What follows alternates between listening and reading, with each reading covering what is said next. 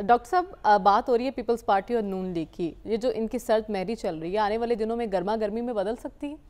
देखिए पहली बात तो ये है कि बजट पे इतराज़ की कोई हमें बात समझ में नहीं आती क्योंकि बजट असम्बली में पेश होने से पहले कैबिनेट में आता है। हम्म। कैबिनेट में पीपीपी के मिनिस्टर्स मौजूद हैं। उन्होंने किसी ने कोई एतराज़ नहीं किया। अच्छा फिर असेंबली के अंदर आए हैं। असेंबली के अंदर भी कोई इतना बड़ा हमें एतराज़ नज़र नहीं आता और वोट पड़ेगा। बजट के हक में। तो ये जो है ना एक सियासी किस्म का आप कह लीजिए एक तरीक़ाकार है कि पब्लिक में जो है ये कहा जाए कि हम हम तो इस बजट से हमारा ताल्लुक़ नहीं है क्योंकि उनका ख्याल ये है कि ये बजट पूरा साल चल नहीं सकेगा। हम्म।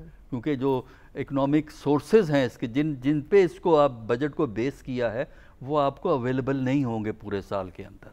लिहाजा बजट तो ये बदलेगा। सबको पता है ये बजट। बदलेगा।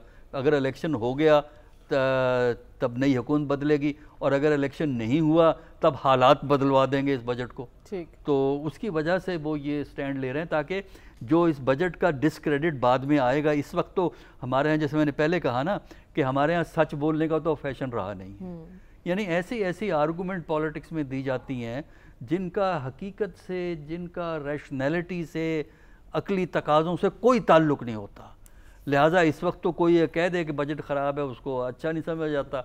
लेकिन चंद महीनों के बाद आपको ये पता लग जाएगा कि हकीकत क्या है। जब आपकी इकॉनमी अगले फाइनेंशियल ईयर में मुसीबत में पड़ेगी ना तब आपको अंदाज़ा हो जाएगा।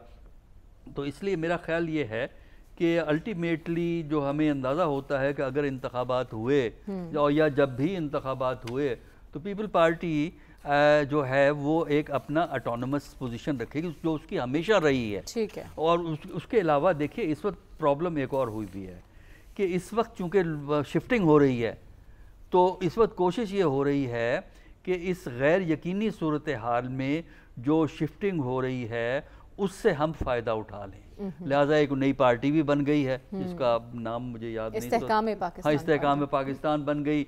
अच्छा वो भी लोगों को इकट्ठा कर रही है।